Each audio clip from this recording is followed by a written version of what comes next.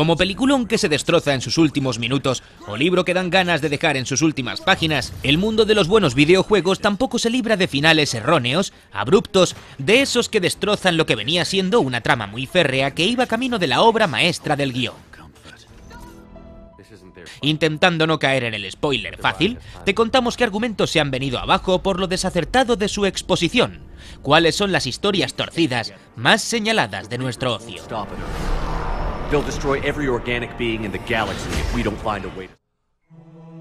La saga Halo ha conseguido crear un universo y ambientación únicos, auténticas óperas espaciales, con el jefe maestro, Cortana y los Spartans, en el centro de guiones sólidos y dignos del género fílmico al que corresponderían. Bungie hizo con esta marca un trabajo argumental superior al que ha puesto a Destiny. Sin embargo, el resbalón de la pelea de jefe final de Halo 4 o el repentino cierre de Halo 2 son todavía recordados como dos de los peores endings de videojuegos. Coitus interruptus total el del segundo Halo, con John 117 clavando su mítica frase en lo más interesante y dando paso a los créditos. Y a esperar unos añitos para descubrir cómo acaba todo, hasta Halo 3. Es que cliffhangers descarados hemos visto muchos, especialmente en series que saben desde el principio que van a ser trilogías, o al menos eso pretenden. Pero estos finales con intriga se pueden colar con cierta elegancia, cerrar algunos de sus arcos al menos, aunque no cierren el central, venir acompañados de una conclusión específica. No es esto lo que ocurre en The Order 1886, que con una trama bastante buena y que justo coge fuerza en su segunda mitad, nos deja drásticamente con el culo torcido en su última secuencia y la aparición abrupta de los créditos. Preparación para secuela demasiado obvia, un despropósito con el que el espectador, que se siente engañado y con demasiadas dudas cuando ya los títulos de crédito le están dejando claro que no hay más, que hasta aquí llega este juego y que compres el siguiente. Hay muchos títulos con jefes finales que no están a la altura, o hacen perder con ellos toda la épica que venía sumándose poco a poco a la historia. Especialmente recordados son casos como el de The Legend of Zelda Twilight Princess, con ese Zan que está al nivel de los grandes villanos de la serie y que al final resulta ser una marioneta con menos sentido del esperado.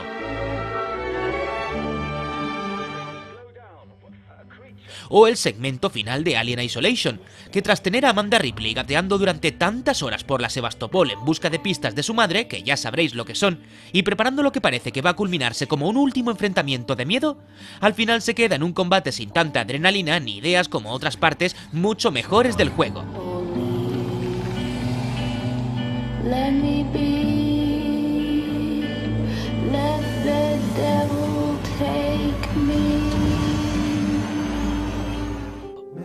No nos dejamos fuera de este grupo a Gears of War 3, cuyo enfrentamiento final dejó algo fríos a la mayoría de jugadores, a lo que sucedía una cinemática de cierre definitivo de trilogía bastante tópica y simplona, ni mucho menos lo que merecía un viaje como el de Marcus junto al resto del Escuadrón Delta.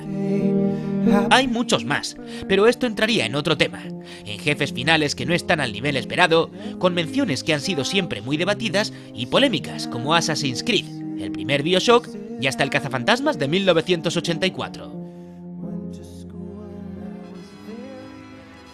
Por otro lado, pero también con historias torcidas, están los videojuegos que empiezan de forma impecable y trascendental y que erran de lleno un poco antes de los últimos compases, en su segunda mitad o tercer tercio podríamos decir.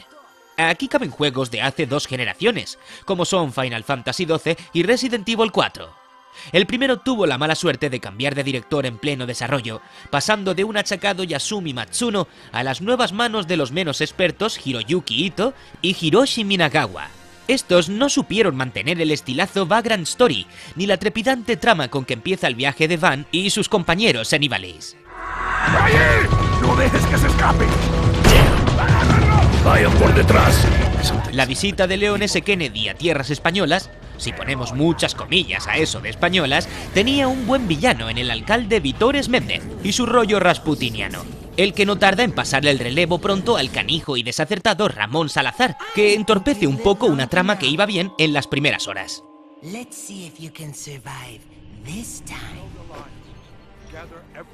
Pero en esto de los finales que por lo general no han gustado o tropezado, tenemos muchos casos más. Especialmente recordado será siempre el elenco original de finales de Mass Effect 3, ninguno realmente a la altura de lo que estaba siendo la potentísima historia de la trilogía de BioWare.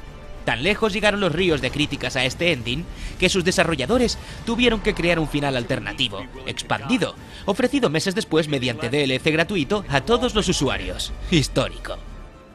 También se quedará para siempre el cierre de Star Wars Knights of the Old Republic de Sith Lords, uno de los mejores videojuegos de Star Wars hasta la fecha, con una trama férrea y apasionante que en su final dejó a todo el mundo tirado, esperando una tercera entrega y no sabiendo gestionar el destino o últimas intervenciones de algunos personajes que hasta aquí habían sido más que interesantes.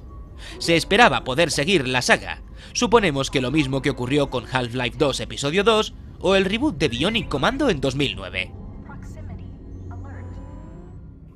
Y más ejemplos de últimas secuencias incorrectas, torcidas. Castlevania Lords of Shadow 2 cerraba con un protagonista que se había olvidado de sus pesares y deseos que sí lo habían acompañado toda la trama, con un cierre de saga que no lo llevaba hacia donde hubiera sido idóneo llevarlo. Los estudios Quantic Dream siempre se han caracterizado por las narrativas potentes y las buenas historias, a menudo bien cerradas, si sabíamos encontrar el final más trabajado. Sin embargo, bastante numerosas fueron las quejas del último acto de Billón Dos Almas, en el que realmente por fin se podían decidir las consecuencias y cómo cerrar la historia de Jodie y Aiden, pero que al mismo tiempo daba al relato un tono sobrenatural y sci-fi quizá pasado de rosca, un poco encajado con calzador para cerrar el vertiginoso y bien atado guion del juego. Hay a quien le gustó este último capítulo, pero abundan las voces que dicen que a David Cage y su gente se les giró la pinza.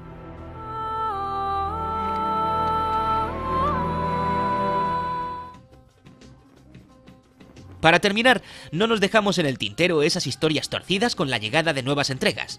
Es un poco lo que ha ocurrido con segundas partes que no han sabido mantener lo que prometían los cierres de las primeras, y lo que habían conseguido en trama y estilo.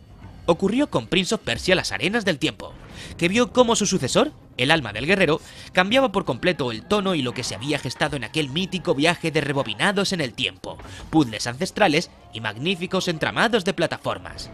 Las series con cambios de protagonistas sufren mucho esto, como Resistance, cuyo final del segundo juego no convenció a muchos, o los primeros Fable y Borderlands. En fin, es una cuestión de gustos y aceptaciones, claro está. Ocurre igual en el cine o la literatura novelada, pero hay casos tan, tan sonados y que hacen tantísimo ruido en foros y comunidades que es como para que ocurra algo parecido a lo de BioWare con el final expandido de Mass Effect 3. ¿Y las tuyas? Cuáles son tus historias que iban bien y de repente se torcieron.